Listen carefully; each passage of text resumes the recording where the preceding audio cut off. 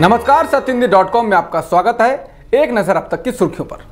नागरिकता कानून पर बीजेपी के नेता और नेताजी सुभाष चंद्र बोस के पोते चंद्र कुमार बोस ने सवाल खड़े किए हैं। उन्होंने ट्वीट किया है कि अगर इस कानून का धर्म से कोई लेना देना नहीं है तो फिर इसमें मुस्लिमों को शामिल क्यों नहीं किया जा रहा है? हमें पारदर्शी होने की ज़रूरत है। नागरिकता कानून और एनआरसी को लेकर शुरू से ही विरोधी रवैया अपनाने वाली ममता बनर्जी आज फिर कोलकाता में कानून के खिलाफ मार्च निकालेंगी।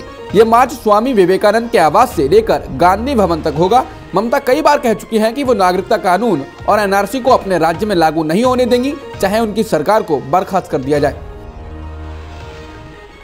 कोलकाता की जादवपुर यूनिवर्सिटी में छात्रों ने नागरिकता कानून में राज्यपाल जगदीश धनखड़ के बयान के बाद उनकी कार को घेरकर विरोध प्रदर्शन किया। राज्यपाल विश्वविद्यालय में दीक्षांत समारोह के लिए पहुँचे थे, लेकिन प्रदर्शन के बाद उन्होंने दीक्षांत समारोह रद्द करने को कहा। और इन प्रदर्शनों के लिए मुख्यमंत्री ममता बनर्जी को जिम्मेदार ठहराया।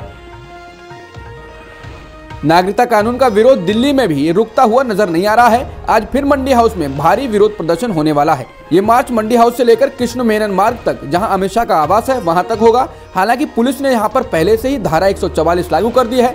इसके अलावा देश के कई हिस्सों में नेशनल प्रोटेस्ट डे मनाया जा रहा है। नागरिकता संशोधन एक्ट के विरोध में हुए प्रदर्शन के दौरान मेरठ में हुई हिंसा में मारे गए लोगों के परिजनों से मिलने के लिए आज प्रियंका गांधी और राहुल गांधी मेरठ के लिए रवाना हो गए हैं। इससे पहले प्रियंका गांधी बिजनौर भी गई थी और हिंसा में मारे गए लोगों के परिजनों से मुलाकात की थी। गौरतलब है कि सोमवार को ही कांग्रेस पार्टी ने दिल्ली के राजघाट पर नागरिकता कानून के खिलाफ सत्याग्रह किया था। अभिनेता नसीरुद्दीन शाह ने देश की हालात पर मशहूर हस्तियों के ना बोलने पर कहा है कि आज अधिक से अधिक लोग अपने मन की बात कह रहे हैं और लोगों के अंदर से डर खत्म हो रहा है। इसके साथ ही उन्होंने कहा कि हो सकता है कि वो लोग नहीं बोल रहे हैं जिनकी आवाज़ें सुनाई देंगी। वो इसलिए भी हो सकता है कि शायद उनके पास खोने के लिए कुछ है।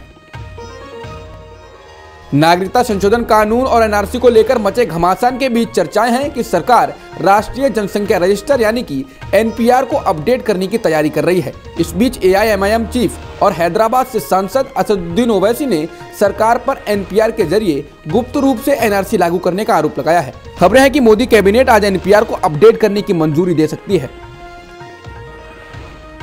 झारखंड में जेएमएम, यानी कि झारखंड मुक्ति मोर्चा, कांग्रेस और राष्ट्रीय जनता दल गठबंधन को प्रचंड बहुमत मिला है। गठबंधन ने इक्यासी में से सतासी सीटें जीती हैं। इस जीत के बाद अब गठबंधन के नेता जल्द ही सरकार बनाने का दावा पेश करेंगे और 27 दिसंबर को हेमंत सोरेन मुख्यमंत्री पद की शपथ ले सकते हैं। झारखंड में बीजेपी के हार का एक कारण गैर आदिवासी नीतियाँ भी रही हैं। वो इसलिए क्योंकि 28 आदिवासी सीटों में से बीजेपी को मात्र दो पर ही जीत मिली है। वहीं आदिवासी सीटें जीतने के मामले में झारखंड मुक्ति मोर्चा, यानी कि जेएमएम पहले स्थान पर रही। पार्टी ने 19 सीटों पर जीत हासिल की है और कांग्रेस ने छह आदिवासी सीटों पर जीत हासिल की है। रोहित शर्मा ने इस साल बल्ले से रन बरसाने के मामले में विराट कोहली को पीछे छोड़ दिया है। रोहित ने वनडे में 2019 कैलेंडर ईयर में सात शतक और छह अर्धशतक लगाकर 1490 रन बनाए हैं, जिसके बाद वो इस साल सबसे ज़्यादा रन बनाने वालों की सूची में शीर्ष पर पहुँच गए हैं। दूसरे स्थान पर तेरह रनों के साथ विराट कोहली हैं। अब तक की खबरों में इतना ही। बाकी खबरों के लिए बने रहिए सत्यहिंदी के साथ।